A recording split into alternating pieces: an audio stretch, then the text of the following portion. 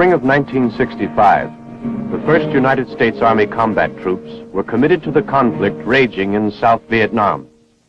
The Viet Cong, fearful of the new M16 automatic weapon, called them the men with the little black rifles. Hanoi Hannah called them juvenile delinquents in green T-shirts. They were American paratroopers of the 173rd Airborne Brigade, and with fierce pride in their outfit, they called themselves the Sky Soldiers.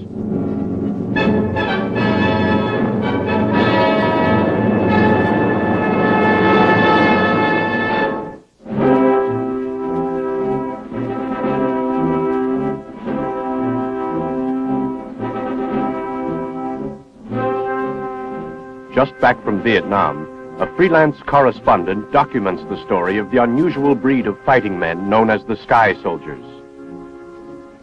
To learn their story, he lived with the paratroopers of the 173rd Airborne Brigade, followed them through the steaming jungles and rice paddies of South Vietnam, where they have made history. The first time I saw them was the morning of May 5th, 1965.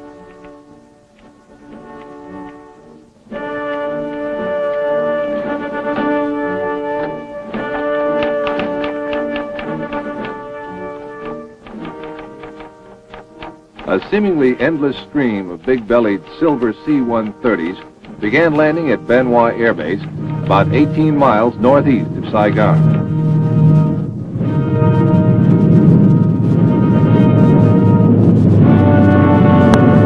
Along with other correspondents, I'd gone to Vietnam to cover the arrival of the first U.S. Army combat troops. Watching them disembark, you couldn't help seeing that there was a special quality about these men. Young? Sure. But the way they moved and formed up without any confusion, well, there was the feeling you get when you're watching real pros. They knew their business. After seeing them, I decided that I would stay in Vietnam and see these paratroopers in action. Brigadier General Ellis Williamson, commander of the 173rd, had arrived on the lead plane.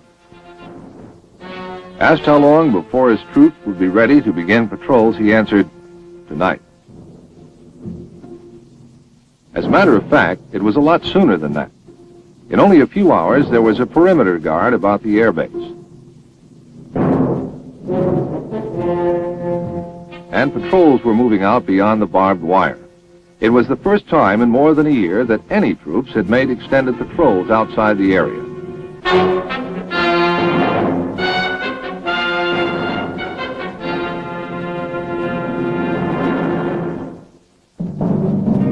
Besides setting up brigade headquarters at Hoa, a task force was landed at Vung Tau. It consisted of an infantry battalion with engineer and medical units, and its job was to secure and defend that airfield. A few days later, the rest of the brigade's personnel and equipment arrived by sea.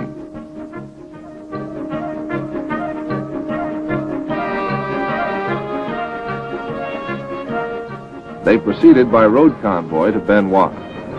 Now, with all of its men and equipment, the 173rd was set to get rolling.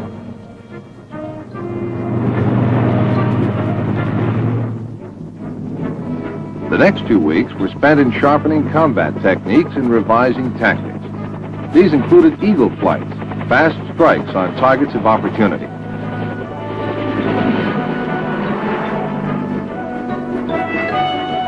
And foot patrols in hostile areas. At the same time, the armored troops and the cavalry were making a show of force on the network of roads and conducting reconnaissance.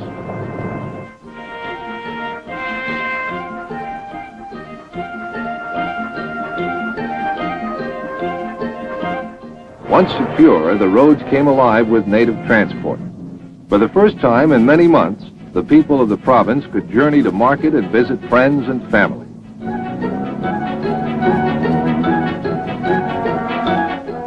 The 173rd is a separate brigade, meaning that it's not part of a division. It's self-contained, the 1st Airborne Brigade to be so classified. At that time, the combat units consisted of two battalions of infantry, artillery battalion with three firing batteries, a cavalry troop, and a company of armor. Combat support units included a medical company, a company of engineers, a maintenance company, signal and communications units, transport, supply, and administration. Independence of movement was provided by two platoons of troop-carrying helicopters and a gunship platoon.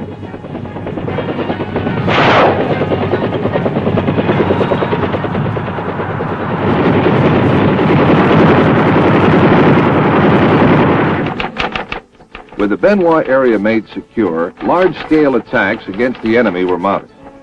The largest of these took place at the end of May and employed nearly all of the combat units in the brigade.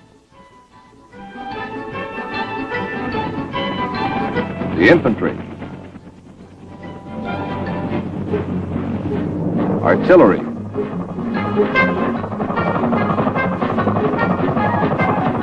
and cavalry as well as engineers and a platoon of volunteers from administration, supply, and maintenance units. It seemed as though everybody wanted to get into the act.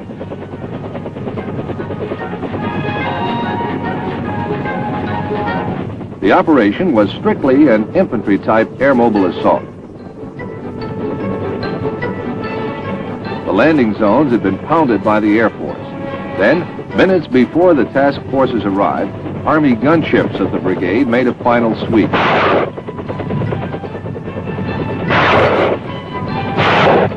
Gunship platoon, nicknamed the Cowboys from their radio call sign, softened up the landing zones, or LZs. Then the first task force swung into action.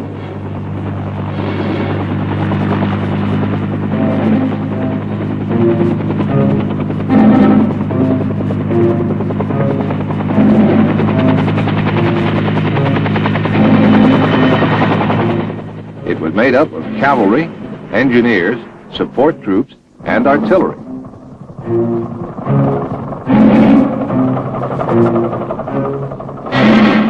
Their first mission was to secure the LZs for the other two task forces.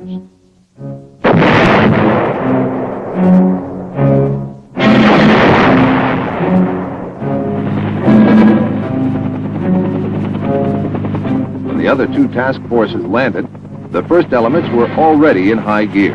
The operation got underway quickly and efficiently. You had to be impressed. Young as they were, these men moved like veterans, like pros with years of experience. Officers and enlisted men all worked as a team. You don't get this good just by accident. There must be a good reason. I hadn't yet discovered just what it was. Almost from the moment this operation began, the Sky Soldiers met scattered enemy resistance.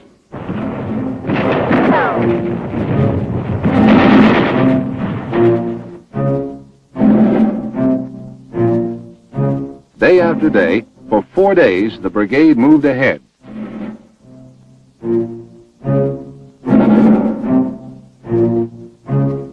Sometimes through jungle so dense you could hardly see the sky.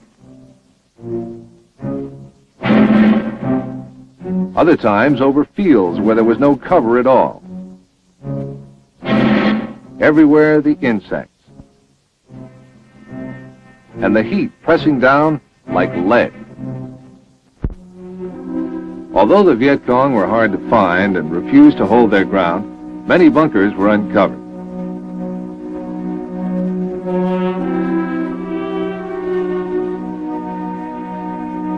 Viet Cong base camps were rendered useless and their supplies captured to distribute to local villagers.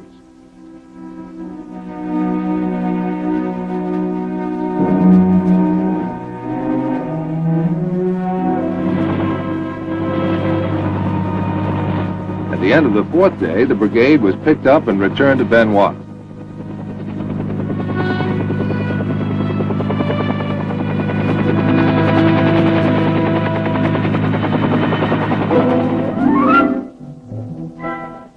The only way to get to know an outfit is to stay with it in camp as well as in the field. During the next few weeks, talking to the men gave me an opportunity to learn the brigade's background and explain much of the reason for its esprit de corps and its efficiency in combat.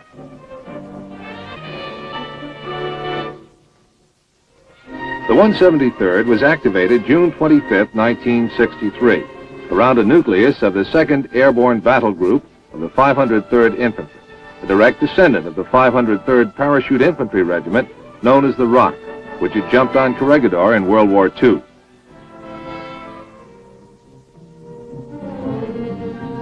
Around these men, they formed a balanced airborne combat force. It was the first and only separate airborne brigade in the United States Army.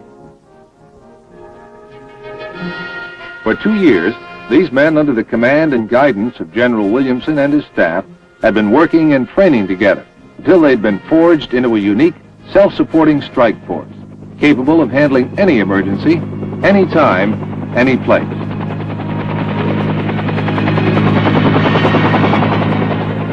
These fighting men had trained in Okinawa, Thailand, the Philippines, and Taiwan.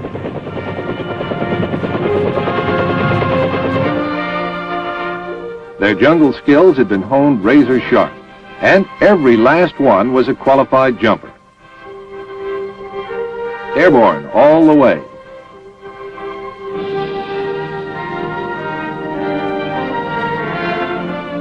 This was truly a crack outfit where reenlistment often ran as high as 100%. And you can't get better than that.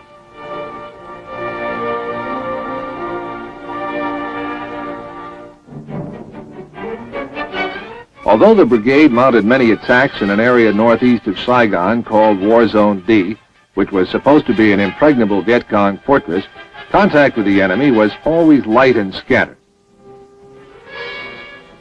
The VC preferred to lose large amounts of food and supplies and to give up their bases rather than stand and fight.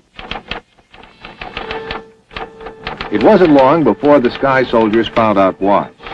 Along with some captured supplies, Documents were found which read, avoid fighting with the men who carry the little black rifles unless you have a much stronger force than they have.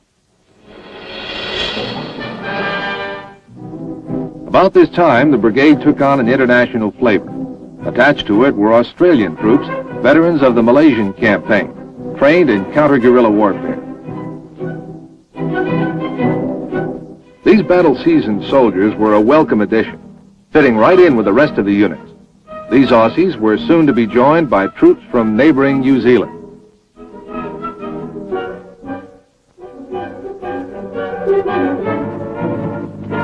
In July, War Zone D was the scene of a massive attack against the Viet Cong.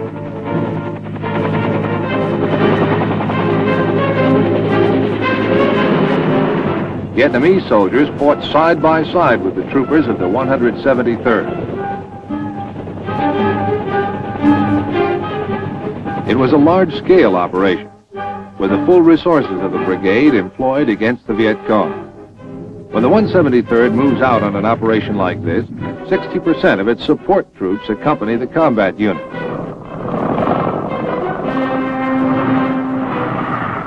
At first, the fighting was light with little opposition. Then it got tougher.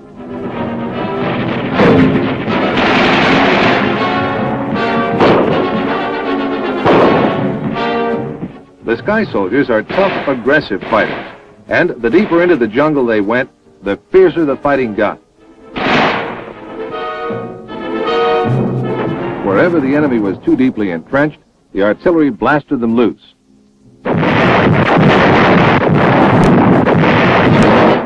General Williamson's policy was spend bullets, not bodies. The operation lasted four days and was a tremendous success. There were more than 400 Viet Cong casualties and 50 prisoners captured. Over 100 tons of weapons and supplies had been taken. And thousands of documents captured, which proved to be a gold mine for intelligence.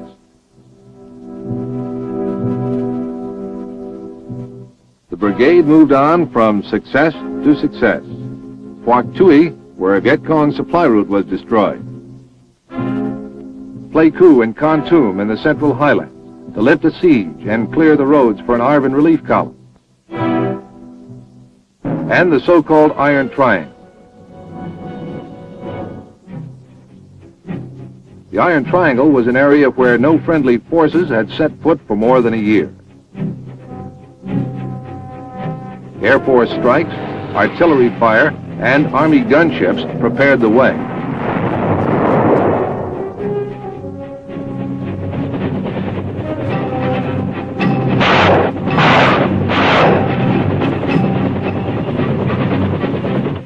Then the infantry moved in, sweeping through the jungle.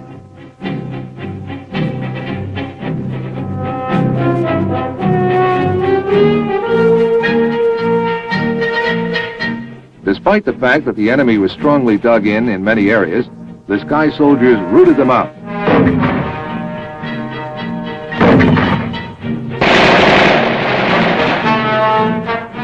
And kept pressing right on.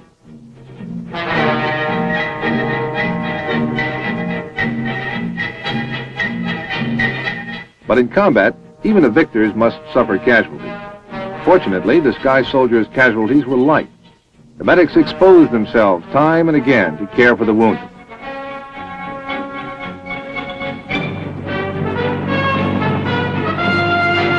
In Vietnam, Dust-Off is the affectionate code name for the medical evacuation helicopters, and they perform miracles in getting in and out of almost impossible spots.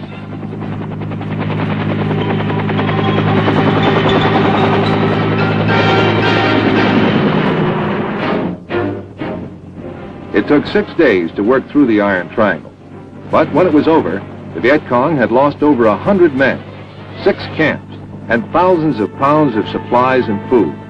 The myth of the Iron Triangle had been broken and was to stay that way for over a year.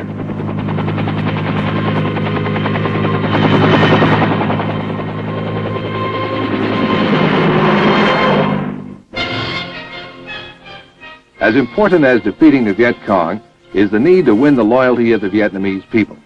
To this end, the men of the brigade applied themselves with the same spirit they showed in facing the enemy. A well-rounded program of civic action was initiated. An important part of it was routine medical treatment.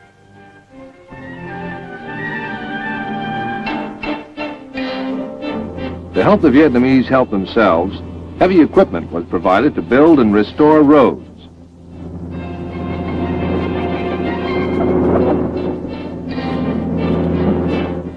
Men volunteered their free time to help in the construction of schools.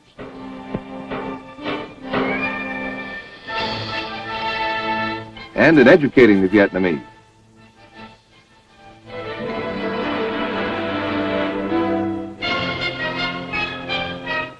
Food and clothing were provided for villagers who had fled from Viet Cong oppression.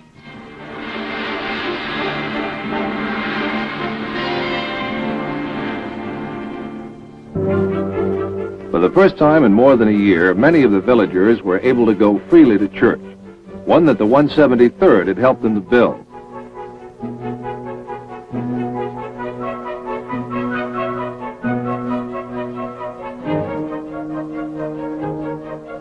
Sanitary wells were dug in villages that had never had clean, pure water.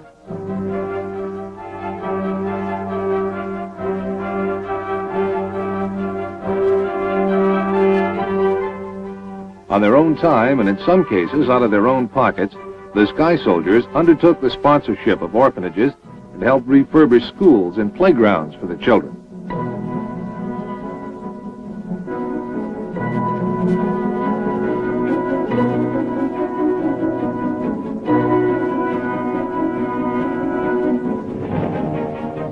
One of the brigade's most unique missions was Operation New Life. More than two years, the Viet Cong had controlled the rice harvest in this rich and fertile area. The mission was to drive out the VC, restore government control, and protect the harvest. In addition to the airlifted troops, long-range ground patrols helped to forge a long chain, which drew tighter as the troops swept across the area. By moving at night as well as by day, the 173rd broke another myth, that only the Viet Cong dared to move in the dark. By such actions, the Sky Soldiers began to win the confidence of the local population and to loosen the grip of terror that the VC held over the Vietnamese peasants.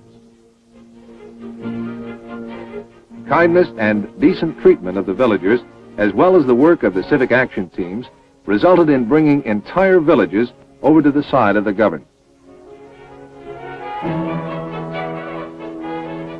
More than 300 of the VC were captured in this operation and the local Viet Cong battalion defeated.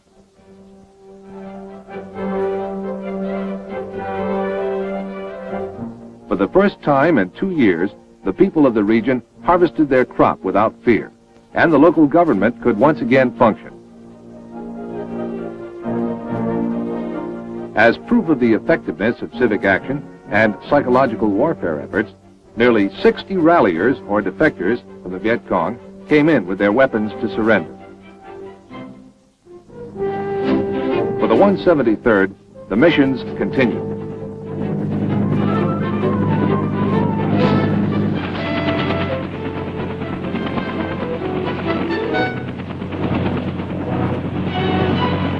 Was Operation Marauder, directed against a VC battalion. They defeated the battalion and captured rosters which identified every man belonging to the local VC. In Operation Crimp, they uncovered a VC base camp in Hobo Woods, which included a tunnel complex that was three miles long and six levels deep.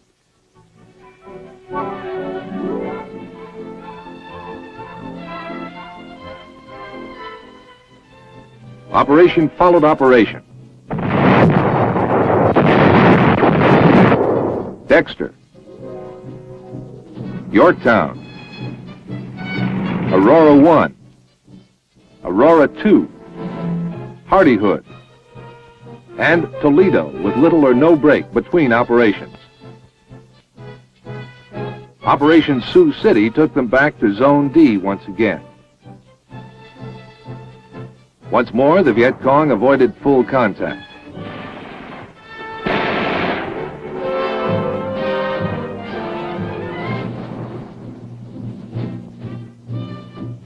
But large stores of clothing, weapons, and other supplies were captured.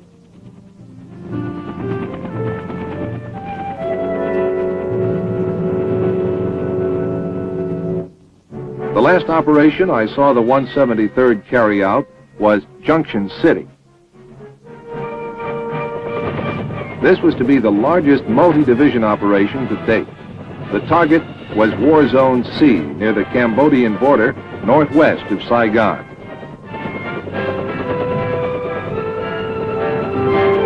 The entire brigade was committed.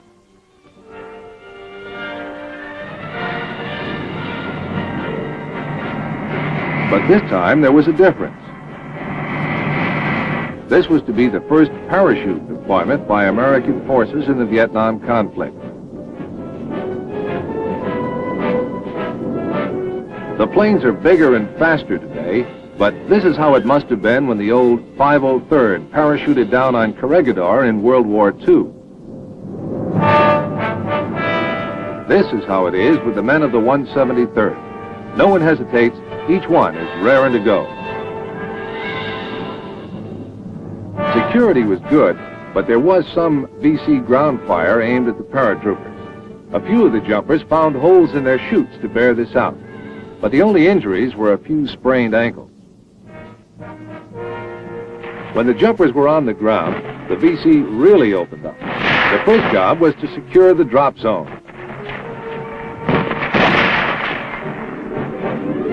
When it was secure, the C-130s began dropping the heavy stuff, equipment, and supply.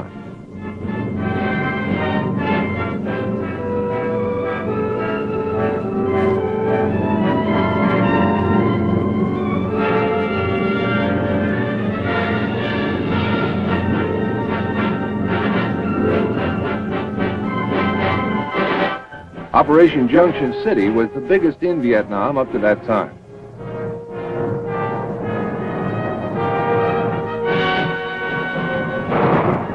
Men of the 173rd did their job all the way.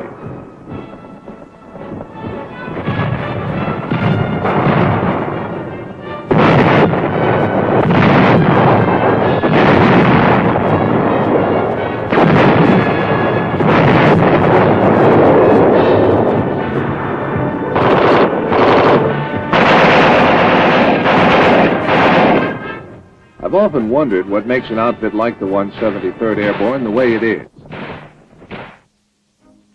Part of it is due to the men who lead it, like General Williamson, who was responsible for organizing and shaping.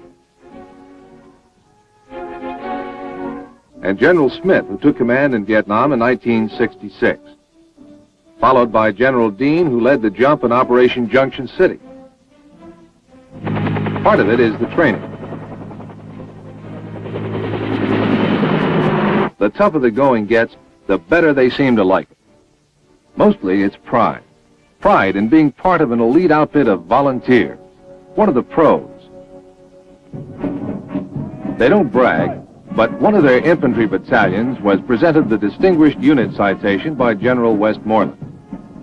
By the time I left, they had four Medal of Honor winners among them, scores of Silver Stars, and they don't bother to count their Purple Hearts. These are the men of the 173rd Airborne Brigade, separate, airborne, all the way.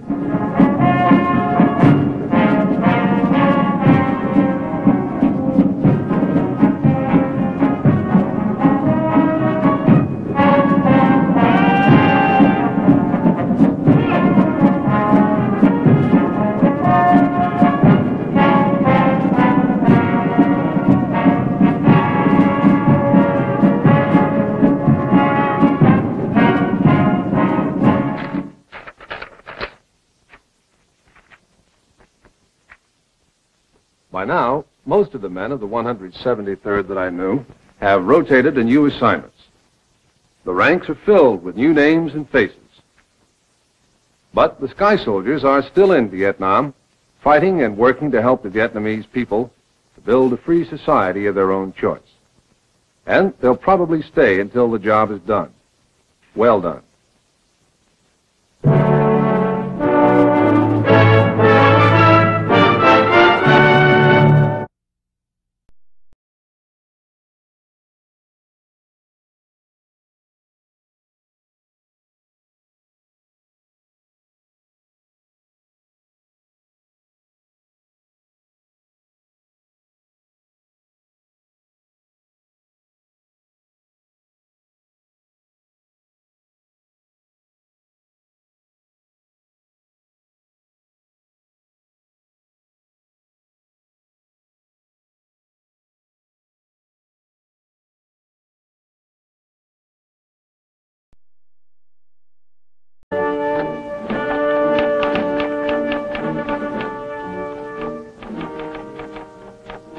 A seemingly endless stream of big-bellied silver C-130s began landing at Hoa Air Base, about 18 miles northeast of Saigon.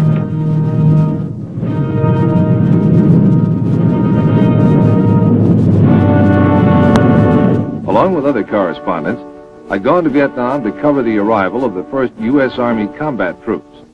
Watching them disembark, you couldn't help seeing that there was a special quality.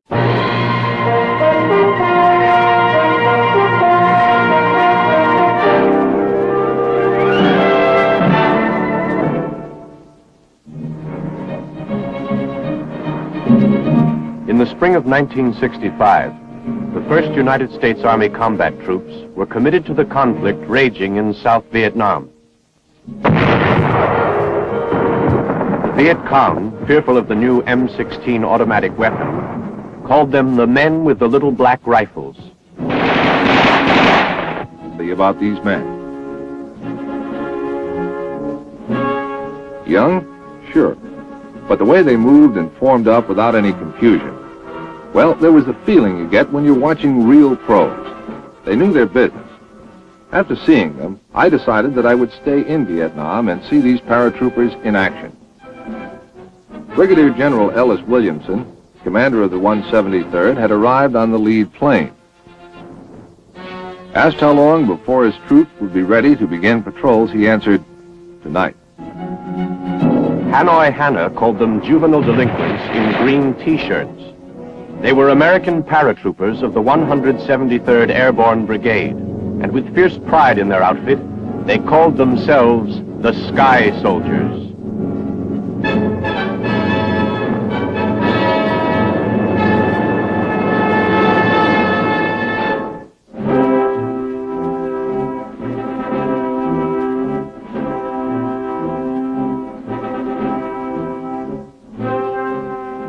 Just back from Vietnam, a freelance correspondent documents the story of the unusual breed of fighting men known as the Sky Soldiers.